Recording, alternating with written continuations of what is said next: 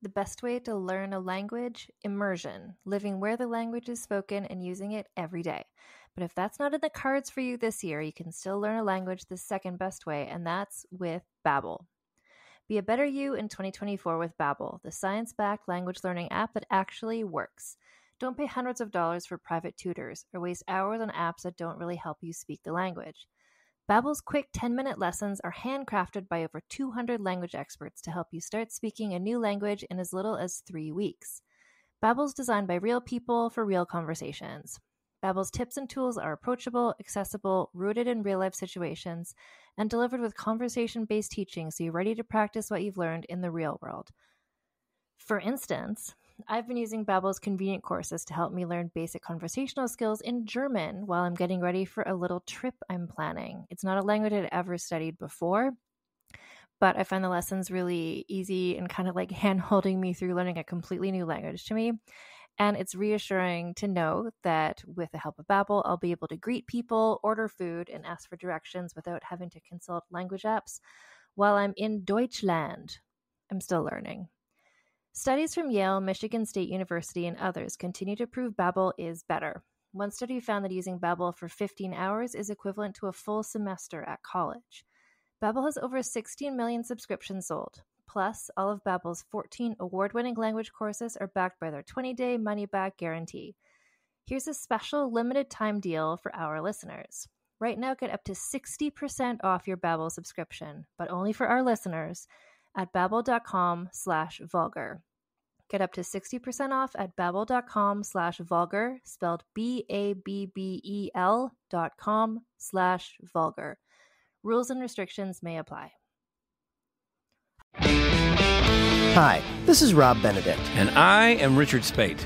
We were both on a little show you might know called Supernatural. It had a pretty good run 15 seasons, 327 episodes. And though we have seen, of course, every episode many times, we figured, hey, now that we're wrapped, let's watch it all again. And we can't do that alone. So we're inviting the cast and crew that made the show along for the ride. We've got writers, producers, composers, directors, and we'll of course have some actors on as well, including some certain guys that played some certain pretty iconic brothers. It was kind of a little bit of a left field choice in the best way possible. The note from Kripke was, he's great, we love him, but we're looking for like a really intelligent Duchovny type.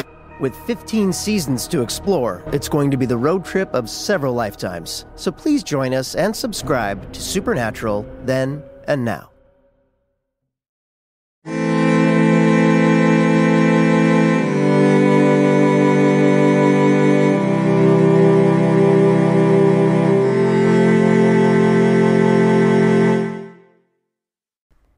And welcome to Vulgar History. My name is Anne Foster and this is a feminist women's history comedy podcast. This is season two, and what we've been looking at all season long are women leaders in history and the men who whined about them. And this was going to be the season two finale. We've been sort of going in chronological order, and this is as close to modern day as we were going to get. But then I found another story that I really wanted to do, so there's going to be one more episode next week. So this is the penultimate episode of season two, which is not to say the penultimate episode of this podcast forever. It's just of season two. And if you go through the um, feed, if you're listening to this in real time, um, I'm recording this during the pandemic era, and I've been releasing some uh, mini-sodes for everybody just about some interesting stories about past pandemics and world histories and some of the bonkers things that happened that people did during them. So, anyway, so what I was doing was I was researching different pandemic stuff, and then I found this story that was really cool. And when I started to sort of write the context for it, I realized like, oh, this is this is a full episode. This isn't just a pandemic mini-sode. All of which to say, this is a regular episode this week. There will be another regular episode next week, and in between, all kinds of pandemic specials because I keep reading about it for some reason. How other people dealt with pandemic type situations. Anyway, I'm pretty sure today's episode doesn't have any plague in it, although I think there is there's smallpox. Smallpox is involved. People die of various things because human bodies do that. But anyway, so we've been looking at women leaders in history. Most of them many of them from um, England and or the United Kingdom as well. You know, we also had a, a sojourn into ancient Egypt and ancient Rome. But the woman who I'm going to look at this week is one of, I think, ooh, am I right?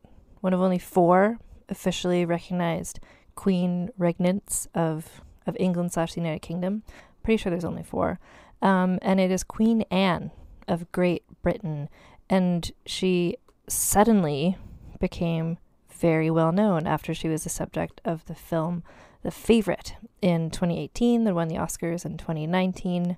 And her story is really, really interesting. And I'm glad that The Favorite came out and that a lot of people saw it and it got a lot of people Googling who is Queen Anne because that did really good things for the search engine optimization on my blog.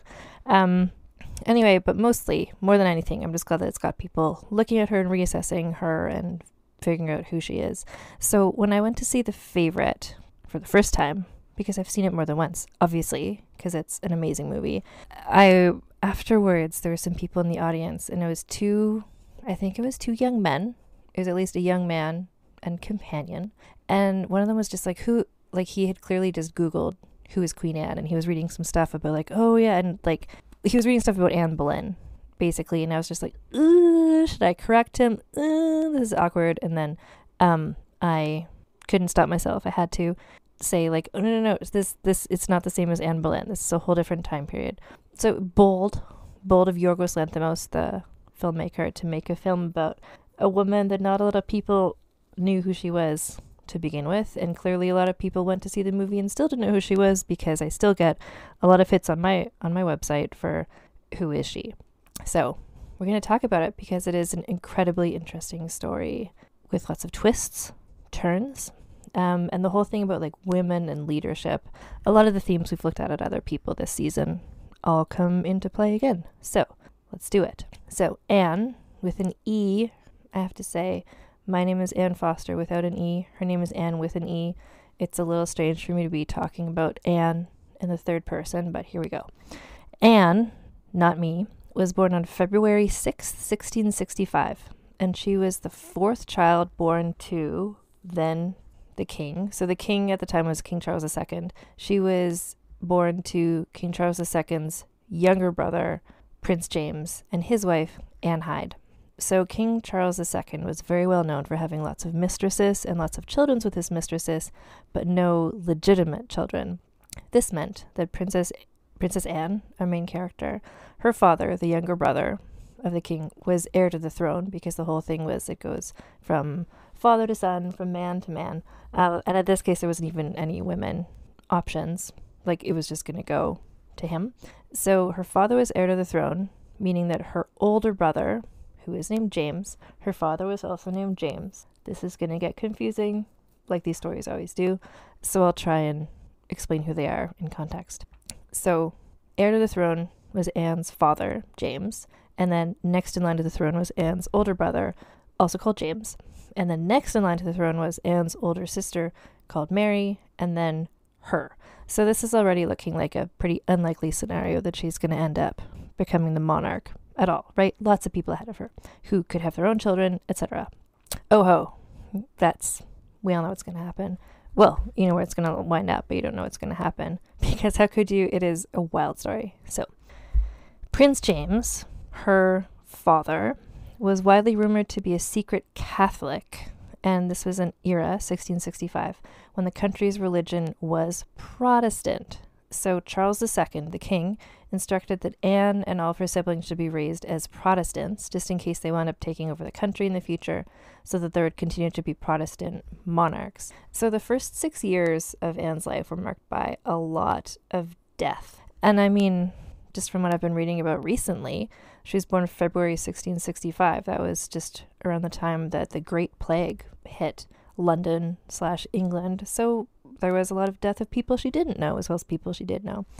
So her brother, James, her older brother, died when Anne was two years old. And at around the same time, her parents had another son, a new baby brother called Charles, who died in infancy at around the same time.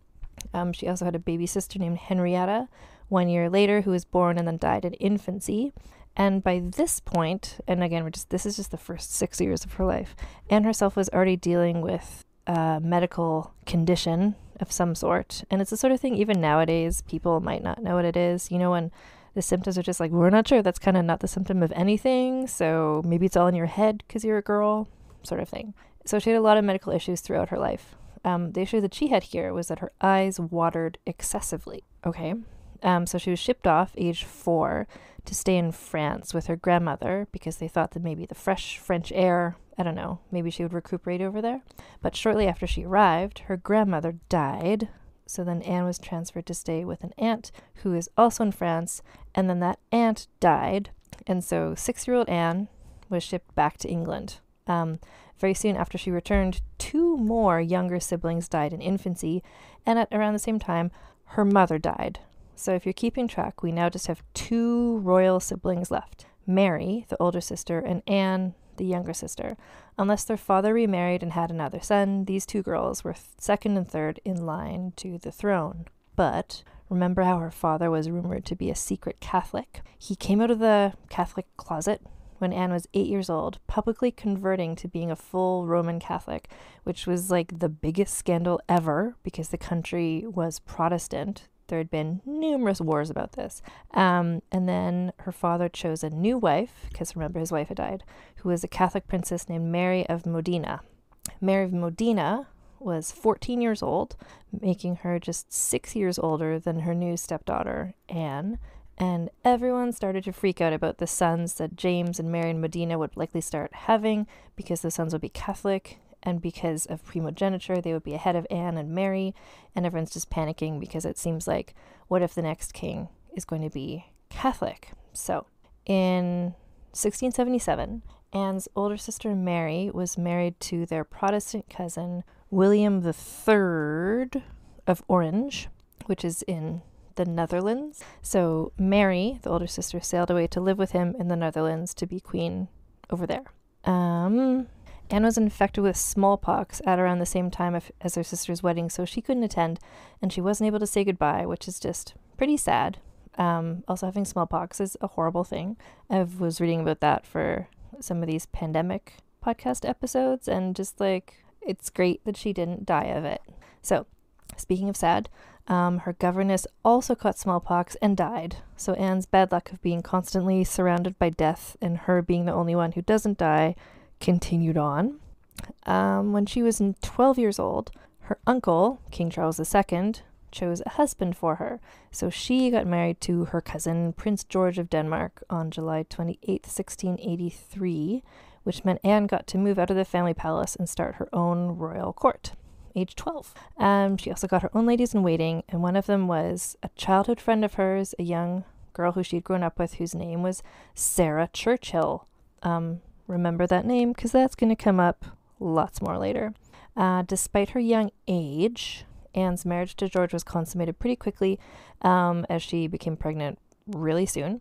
Um, her first pregnancy ended in a stillbirth, but she became pregnant twice more in the next two years, and she had two daughters whose names were Mary, because the story doesn't have enough people named Mary in it yet, apparently, and Anne, Anne Sophia, which is a nice name. Soon after that, her uncle King Charles II died, meaning that her father um, became King James II, um, a Catholic king.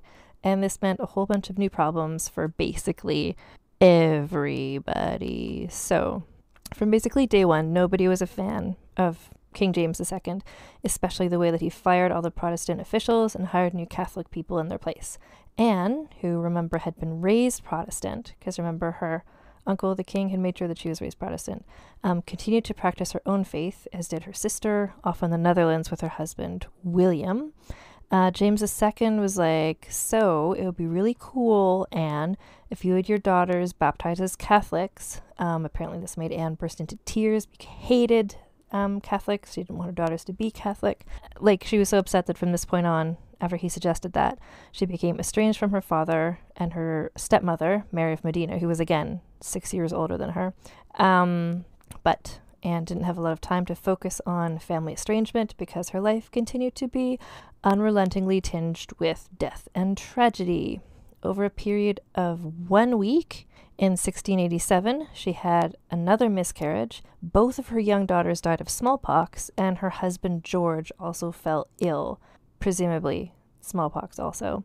Uh, this is a story where anytime someone gets sick from this point on, which I'm just assuming smallpox. So she and George were left grieving the death of their children and the miscarriage as he struggled to survive. Um, but George made a full recovery, and Anne became pregnant again later that year, which ended in another stillbirth. Um, but someone else was also not having much luck vis a vis pregnancies, her six years older stepmother, Mary of Modena. So, Mary of Modena, the stepmother, had become pregnant 10 times since she married Anne's father.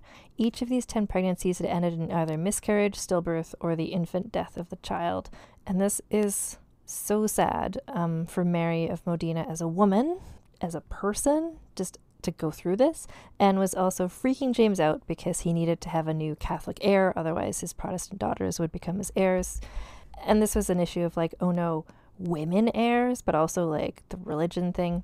So, as long as he and Mary of Modena didn't have a surviving child, then Mary and then Anne would be the next monarchs. But then Mary of Modena suddenly became pregnant, and everybody waited to see how it was going to turn out. If it was a son and he survived, he would be the new Catholic heir to the throne, which would change everything.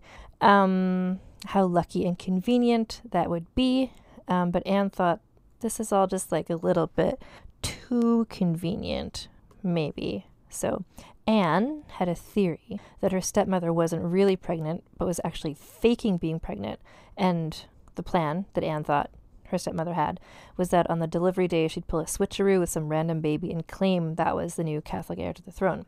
Um, why would they maybe do this? Well, basically because Mary of Modena and James were really desperate to have a surviving son and heir to continue on their Catholic ways, and they really didn't want Anne or Mary to become the new queen and switch everybody back to being Protestant. And Anne didn't keep her theory a secret. She made sure that everybody heard this rumor because, as we will see in later examples, she lived for the drama of it all.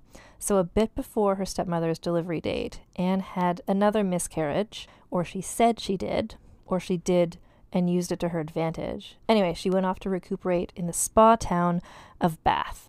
So, normally, when the new queen gives birth to a new heir, the other heirs come into the room to witness the birth to make in case somebody dies and the other heirs have to like quickly take over because childbirth was so dangerous at this period but Anne was like, Sorry, I can't be there to watch this probably fake birth. I'm too busy here at the spa um, because I just had a miscarriage. Bye. Um, so it was kind of convenient. And so this is where the rumors come from that she had maybe was lying about the miscarriage in order to just have an excuse to not be present for the birth. Um, so while Anne was in Bath, her stepmother allegedly gave birth to a son, or else pulled a switcheroo, or one way or another, there was a new heir to the throne who was a baby named James, who was baptized Catholic. Um, every male person in the story seems to be called James, but this one is little baby James. So Anne wrote a letter to her sister Mary in the Netherlands, and she was in the letter, she was like, So allegedly, this baby James is our half brother, but I don't know if he really is. There might have been a switcheroo involved. Um, I wasn't there at the birth because I was tragically at the spa that day. Um, so please feel free to spread this rumor around the Netherlands. And her sister wrote back, like, solid theory. Um, also, P.S. William and I are probably going to invade and take over from our Catholic father. Don't tell anyone. And Anne was like, amazing. I'll keep her father distracted with all this fake baby stuff so he'll be too busy to notice you and William invading. And that is exactly what happened. So, their father, King James II, was really busy defending himself, being like, My wife just 100% gave birth to to a baby. I can prove it. Look, here, there's 40 other people were in the room when she gave birth, and I'll get them all to testify, and they'll all say that they saw the baby come out of her vagina. Like, Anne, can you please come and hear their testimony so you'll stop spreading these rumors? And Anne was like, I'm sorry, I can't travel. I'm pregnant. Um, which for most of her life would have been true, but at this point was not. She was totally lying. Um, so her father had a written record of all the 40 witnesses' testimony, and he was like, Anne, I can send you the minutes of this testimony so you can read it to stop spreading these rumors. And she was like, mm, no thanks. And James um, freaked out, and Anne just kind of kept him distracted with that. And then revolution.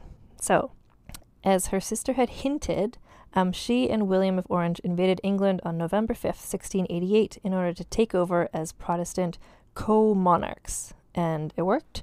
They were successful, and the whole thing became known as the Glorious Revolution. So now, um, back in England, Anne had been pretending like she didn't know this was going to happen. And in fact, the only person that she told was her best friend forever, her BFF, Sarah Churchill, Duchess of Marlborough. Remember her from earlier? Um, her lady in waiting? So, Sarah Churchill was connected to the very powerful Churchill family, who are, side note, the ancestors of Winston Churchill. Um, and so the powerful Churchill family supported William and Mary's coup, but then James found out that the Churchills were against him, and he ordered that Sarah should be arrested. And Anne freaked out. She was like, I will never betray my best friend. And she secretly snuck out the backstairs of the palace with Sarah to escape being arrested. When James found out that his daughter had deserted him, he was like, wow, like not even my estranged daughter supports me. I guess I'll just go flee to France with my wife and baby James. And that is what they did. So after all this happened, um, the courtiers, like all the people in the palace, were like, whoa, that was like super intense. Like, Anne, are you okay? And she was like, mm, it's fine.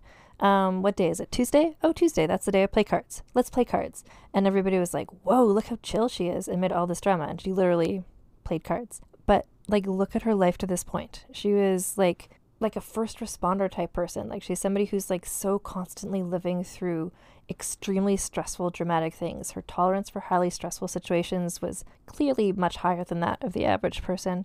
And so she played cards, and William and Mary were Protestant co monarchs of England, and everything was glorious for like five minutes. So, since William and Mary didn't have any of their own children, a whole decision had to be made about who would be their heir as co monarchs, whichever one of them died first would be succeeded by the other one. So, sort of like if you listen to the podcast from two weeks ago, the whole Isabella Ferdinand scenario. So, so it's like William's heir is Mary and Mary's heir is William, but once they're both dead, who would it go to? Um, and so the next heir would be Anne or her children, if she had any children. At this point, she did not.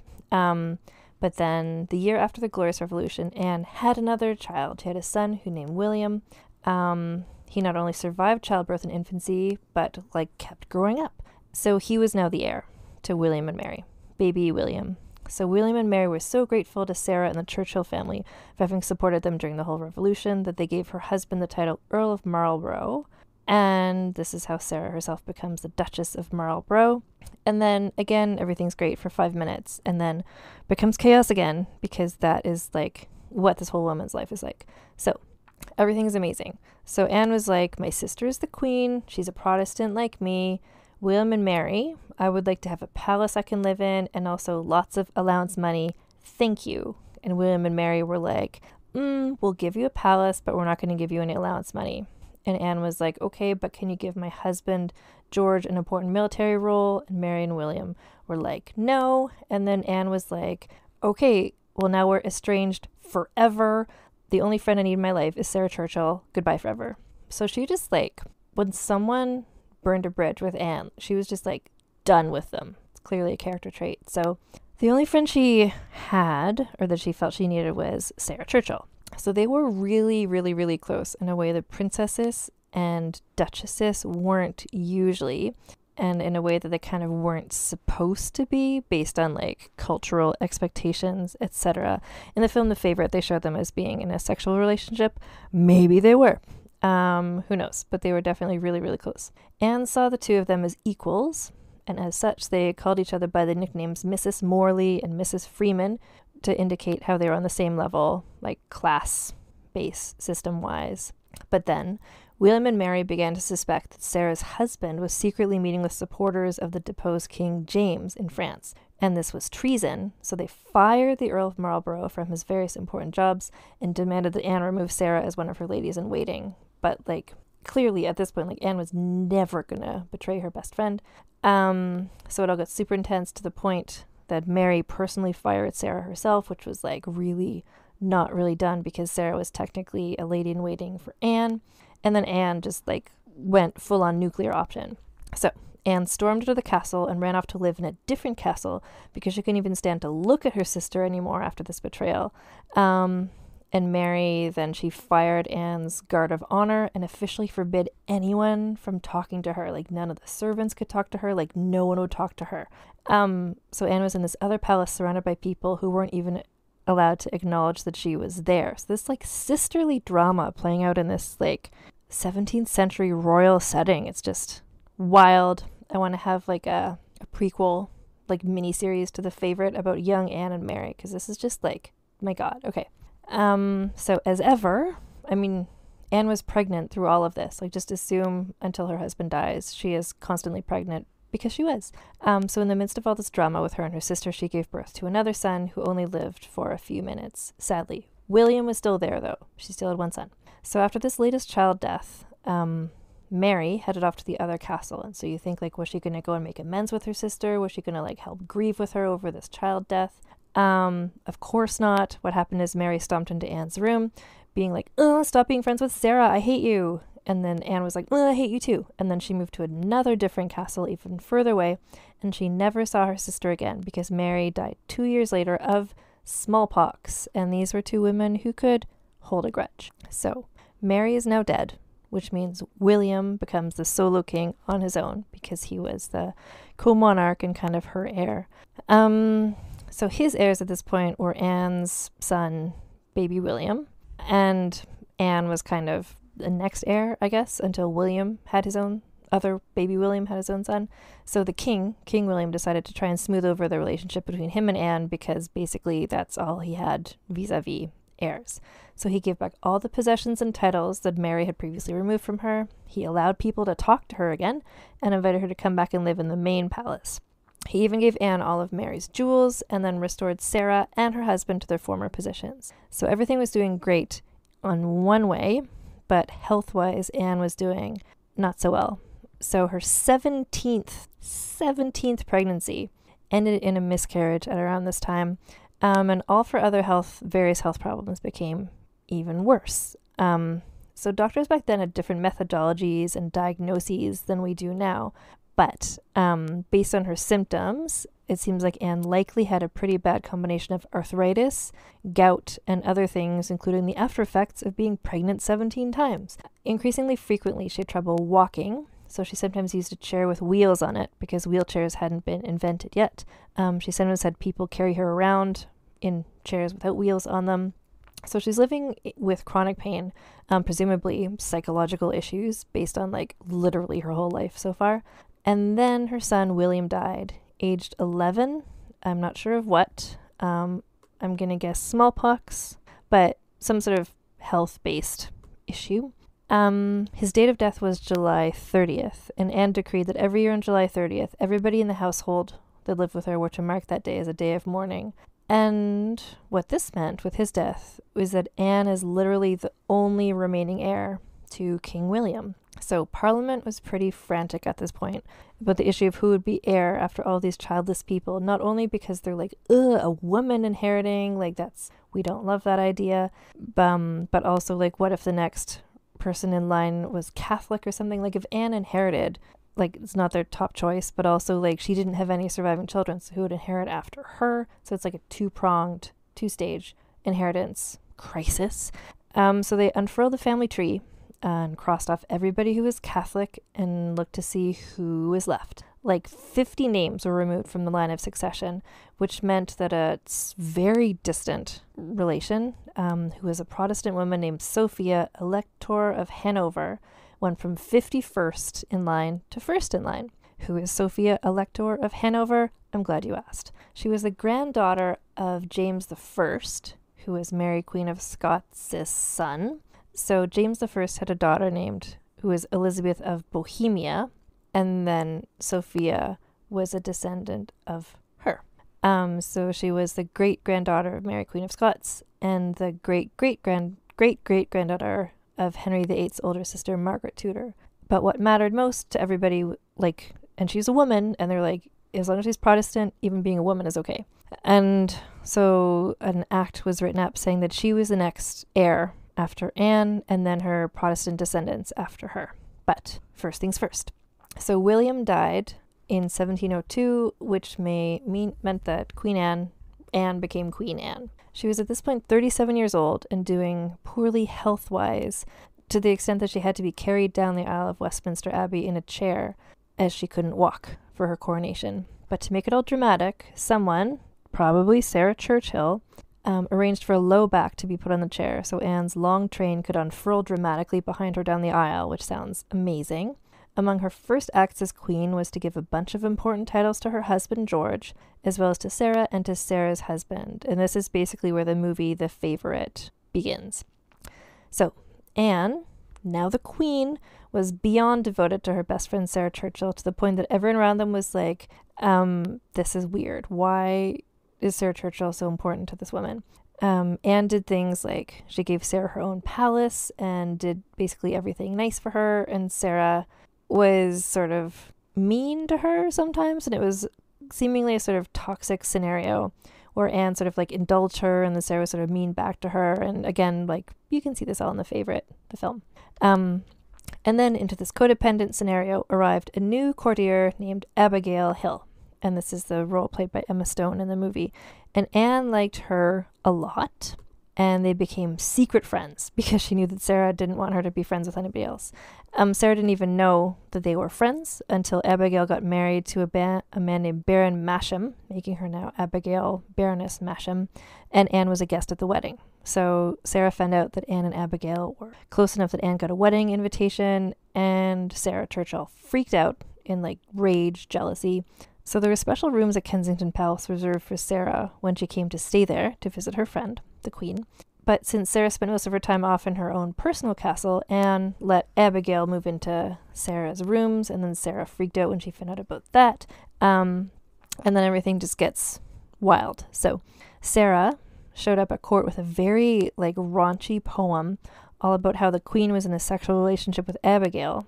Sarah didn't write the poem; she had like commissioned it from a poet, and so she had this poem that she had written, and then she went to the queen like, "Oh my God, look, someone wrote this poem about you and Abigail. Spending time with her is ruining your reputation. So you should stop being friends with her. You should be friends with me instead." And Anne was like, "Can't I have two friends?" Um, but secretly, Anne seemed to enjoy having Sarah and Abigail fighting over her. Again, the movie The Favorite goes through the stuff, and a lot of this drama was a very sort of etiquette battle sort of thing. Like one of Sarah's jobs was picking out which jewels the queen would wear each day. And one day the queen chose to wear different jewels from the ones Sarah had chosen, and then Sarah freaked out because not wearing the jewels she'd chosen was like the etiquette version of being punched in the face. So Sarah, who clearly had quite a temper that she was not afraid of demonstrating, literally yelled at the queen in public to shut up, which is like, you're not allowed to do that. That's kind of treason. But nobody stopped her and Anne didn't punish her, so it's all just sort of like a that's that's the culture that's going on. And so, to add to all of this, just like wild sequence of events, um, Anne's husband suddenly died. Again, I'm guessing smallpox. Anne was super upset about this. Obviously, they've been husband for decades. Um, they've been through a lot together as a couple, um, such as 17 pregnancies and all the child death. She'd always had a portrait of her husband George hanging in her room, and one day she went into her room and it was gone. And Sarah was like, Yeah, that was me. I took down the portrait because I thought it would make you sad and you shouldn't look at it. And then Anne was like, put it back. And Sarah was like, mm, make me. And Anne was like, I'm the queen. And Sarah was like, me, me, me. And then they just sort of had this huge fight. And that's the sort of stuff that was going on. Eventually, Anne wrote a letter to Sarah's husband, like, Can you please tell your wife to stop being mean to me and stop yelling at me and stop stealing paintings of my dead husband? And Sarah's husband was like, What's going on, Sarah? And so Sarah went to have a face to face with Anne, which happened on April 6th, 1710, and they had a friend breakup these two were now officially estranged. And say what you will about Queen Anne the First, but when she decided to end a relationship with somebody, she just like she did. She would no looking back. Um, so meanwhile, back in France, Anne's father, the former king James, was hanging out with his wife Mary of Modena, their son, baby James, and they had another child who they named Louisa Maria Theresa. So by now, baby James, who was now an adult, um, had been brought up being told that he was actually the rightful king of England, and he believed it. And he kind of was the rightful king of England because William and Mary sort of like took over. Um, anyway, so James, the younger, formerly baby James, and his supporters were called the Jacobites, and they decided to sail over to Scotland and begin the work of taking the country back and making it Catholic. They had some secret allies who he thought would help, but Anne had spies of her own who intercepted James and chased him away. But then, Sarah Churchill, a woman who could seriously carry a grudge, was spreading the story that Anne secretly wanted her half brother James to become the heir instead of Sophia, Elector of Hanover. And just like how it was impossible for her father to prove that his child wasn't secretly switcherooed, Anne found it impossible to convince anyone that this gossip wasn't true. Because when people don't like you, they can't really be convinced that mean rumors about you aren't true. Throughout all of this, like this is all just like personal life stuff, and that's what I tend to be most interested in and what I tend to talk about on the podcast. But bear in mind, Anne was also being the queen. So she sat in more cabinet meetings than any previous English monarch had ever done, and also more than most of the later monarchs did. She was interested in what was going on in Parliament and did lots of important political stuff that other people have written about. I'm just here to tell you the juicy gossip bits, but I'll put some some recommended reading in the show notes for this if you want to read about her uh, political side of her life. Um, even though Anne's health concerns were becoming more and more exacerbated, like she became basically a bedridden invalid. Um, she before like she could walk, but she sometimes needed a wheelchair instead. Now she like couldn't even walk anymore. Um, she would wheel herself in her chair with wheels. Um, or have people carry her into Parliament, where she attended like all nighter meetings to go over important governor government business. Um, and then on July 30th, 1714, which is the anniversary, the 14th anniversary of the death of her son William, the date that she always had everyone commemorate as a day of mourning. Anne had a stroke that left her unable to speak, and then she passed away on April 1st, 1714, aged 49. Queen Anne was buried in Westminster Abbey, the same place where 12 years before she'd been carried down the aisle in a chair with a low back so that she could have a train. Um, she was laid to rest next to her husband George, as well as the remains of many of her stillborn in- and infant children, as well as her her son William, who died aged 11. Um, and Sophia, Elector of Hanover, who had been her heir, actually died just a few months before, which meant that Anne's heir was Sophia's son, who became King George I, and we'll talk about that another time. Oh, he was the one who was the king during Mary Toft, um, giving birth to rabbits scenario, if you want to just like match these Jenga pieces up in your mind. But the story doesn't end here, because Sarah Churchill was not willing to let go of her grudge, even though Anne was dead. So Sarah lived for 30 more years after Anne had died and later published a memoir that basically trashed Anne as being the simpleton slash idiot and spilled lots of like quote unquote secrets that may or may not have been true.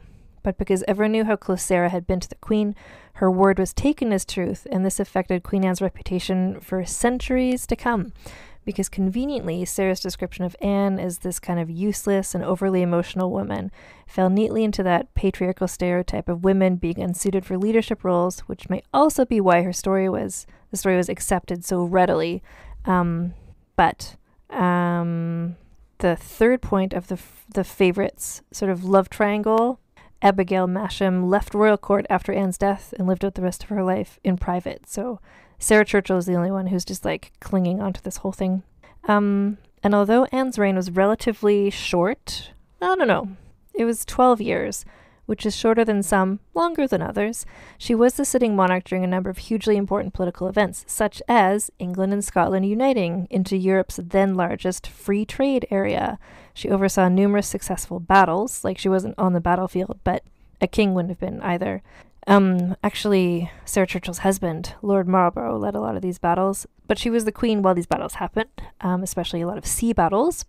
She was a noted patron of the arts and literature and was the namesake for the well known Queen Anne style of architecture and furniture. Um, the timing of her reign coincided with a time of a whole lot of colonization by English people in eastern North America. So, a bunch of places were named after her, including the American city of Annapolis, the Nova Scotian um, Annapolis Royal and Annapolis Valley, and Fort Anne, as well as Princess Anne Street in Fredericksburg, Virginia, and Queen Square in Bloomsbury, London. So it's time to go through a scandalous scale for Queen Anne. And this is an interesting one, like in terms of like women leaders and the men who whined about them. Like there was her reputation suffered a lot. And a lot of that was because of how Sarah Churchill whined about it, frankly. Um, and it's interesting too because of the whole religious, the whole Catholic versus Protestant thing that she was a woman, which was not a lot of people's first choice, but she was Protestant and that was preferred to a Catholic. Um, same with Sophia of Hanover, frankly. Um, but we're going to go into the scandalicious scale here. And the first category is scandaliciousness. And I think Queen Anne gets a 10 for scandaliciousness just because she was super into um, gossip. The whole thing where she like went to the spa on purpose, potentially pretending to have had a miscarriage just so she could like continue to spread rumors about her half brother maybe having been switched at birth. Um, the whole, I mean, the Sarah Churchill screaming at her in front of other people, Sarah Churchill showing up with the like lesbian poems, like just the whole, the court at this time seemed to have been quite scandalous, and that was a lot of her. You know what? I'm going to give her like a mm, maybe not 10, maybe like an 8, an 8 for scandalousness because there's like a lot of juicy gossip type stuff going on. But in terms of like comparing her to other people that we've done on the show, there has there's not like a there's no murder moment. You know, there's not that one major scandal that really tips everything over. But just her life, she lived her life in a scandalicious sort of way that I respect. Scheminess. Um, I'm going to give her a nine for scheminess, I think, because while we don't know a lot of the schemes that she got up to, like the ones that we do know about, like again, like spreading rumors about her half brother being maybe switched up birth, um, the whole thing with like the fact that she knew that her sister was going to invade and she didn't tell anybody, um, the way that she snuck away in the middle of the night to keep Sarah Churchill from being fired, like her scheminess is good. And then also because we looked at other people this way in terms of like how they ruled, how they led. Like she, they had a lot. She oversaw a lot of successful military campaigns, which is sort of scheminess. Her significance is a tricky one because, well, she for a long time was seen as quite insignificant.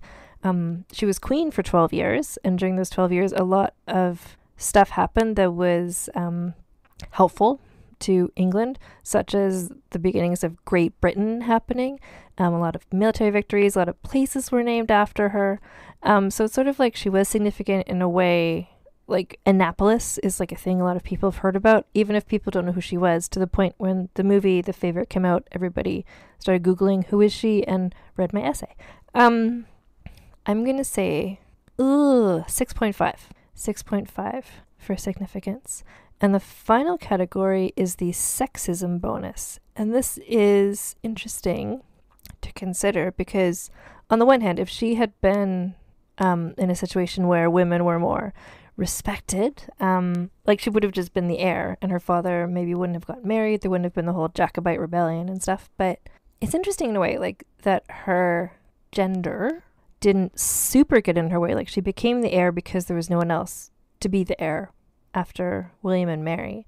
And then she had, I mean, 17 pregnancies, um, like a lot of health problems, like a lot of, and that was all related to her you know, biology and stuff. If she hadn't been pregnant all those many times, maybe she wouldn't have had the health problems. I don't know. I, I mean, I can't give her less than a five for sexism, but honestly and intriguingly, I don't think that was really one of the big challenges that got in her way. So let me just add this up. We have 28.5.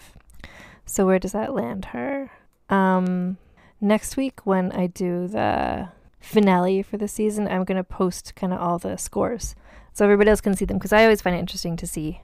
I always say, and I mean it very genuinely, like I'm not pitting these women against each other to say like who's cooler than the other or who's better than the other, but just I'm scoring on four different things and where does everybody fall when you score them in this way. But 28.5 puts her in fifth place overall, like in terms of scores. She is shockingly um, 0.5 above Cleopatra, and so she's just below Elizabeth Bathory, who has a 29. I feel like they sort of have some some similarities there.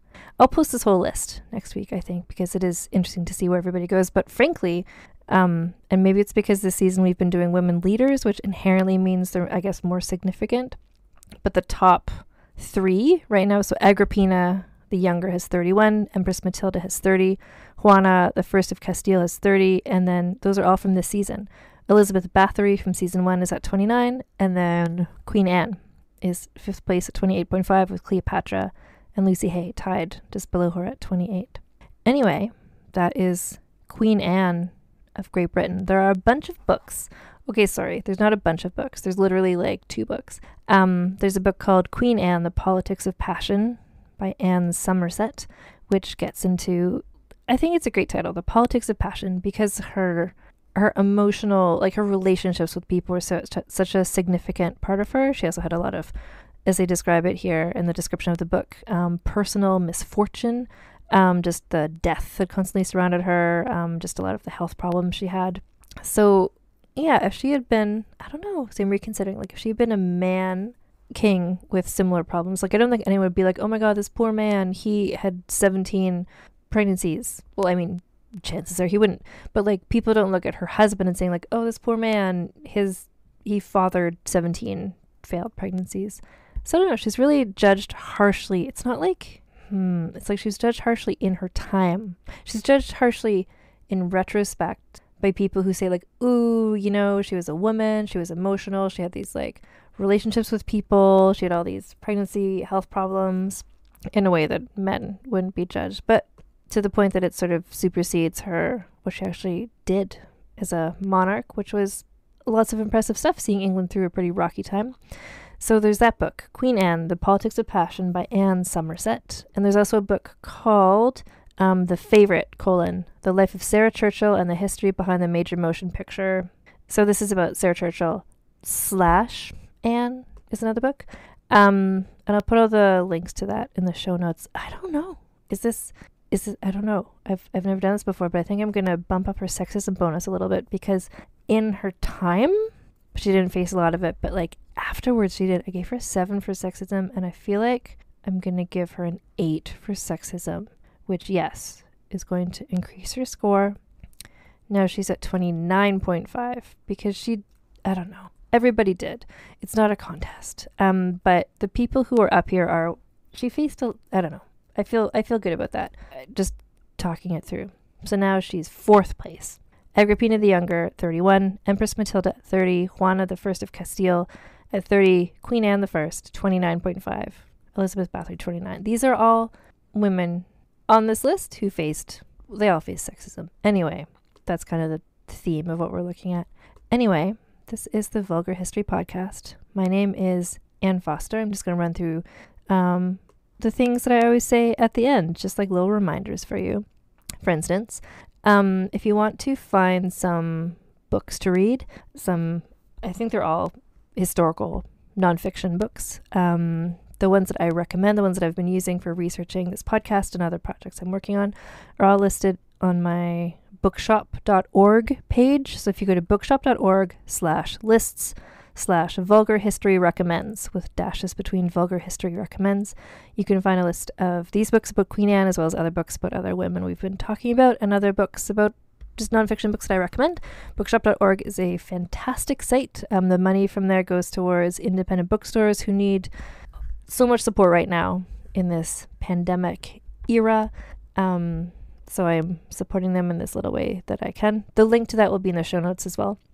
Um, we've got my little merch store. So if you go to teespring.com slash stores slash vulgar history, you can find t-shirts, tote bags, mugs, all different sorts of items that are all celebrating, commemorating the women who we've been looking at during this season. Um, I've got one, like a, an item for each of the different women. So if there's somebody who's your fave, there's somebody who you want to represent. Um, I just put out the Juana of Castile stuff, which is just a portrait of her, and it says like La Reina, like the queen. Um, it's pretty great. The thing about the merch store is that I basically want to buy everything from it for myself, but maybe you'll like some of the stuff as well. Um, and again, that's at Teespring. There'll be an item there when this episode drops um, for Queen Anne as well, because she's someone who is very much worth celebrating, I think. Um, if you want to support me slash this podcast, um, my Patreon is patreon.com slash Ann Foster Writer. The original essay that I wrote about Queen Anne um, which again, um, because of this film and people seeing it and no one knowing who she was, I had it did amazing things for my website. This film, just people googling who is this person, and then reading my essay about it. So you can find that essay at annfosterwriter.com. Um, the podcast is also on Instagram and Twitter, And if you have thoughts or comments or whatever, um, you can email that at vulgarhistorypod at gmail.com.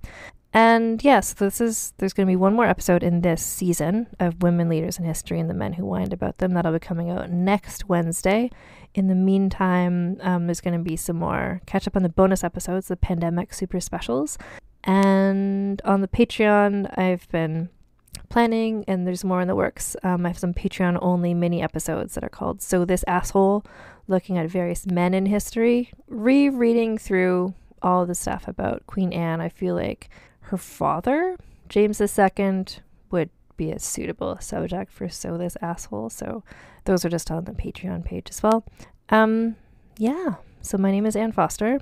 This is the Vulgar History Podcast. I hope you're all doing well. I hope that these gossipy stories of history are a fun distraction for everybody, and I'll talk to you all next time.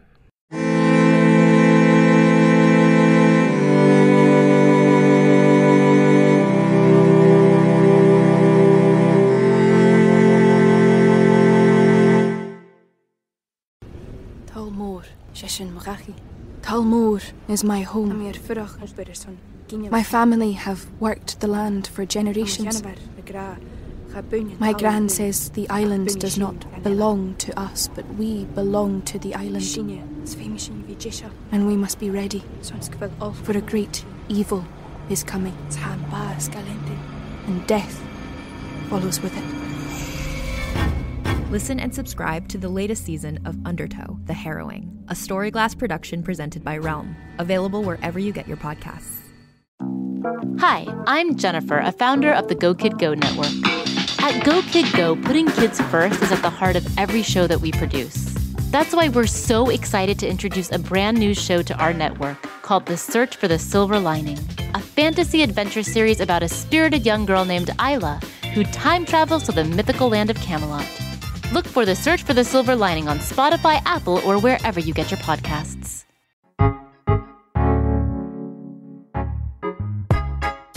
I'm Laura Cathcart Robbins, and I'm the host and creator of Only One in the Room podcast. Every week, my co host Scott Slaughter and I invite you to join us for an hour and lose yourself in someone's incredible Only One story. We talk to the realest of real people, dealing with issues like infertility, addiction, human trafficking, and body shaming. Oh, and we want to be fair, so we talk to some celebrities too. Oscar winners, New York Times bestselling authors, supermodels, and even the most decorated U.S. Winter Olympian. Everyone is invited to share their only one story with our listeners. This podcast is for anyone who has ever felt alone in a room full of people, which is to say that this podcast is for everyone. Download Only One in the Room wherever you listen to podcasts today.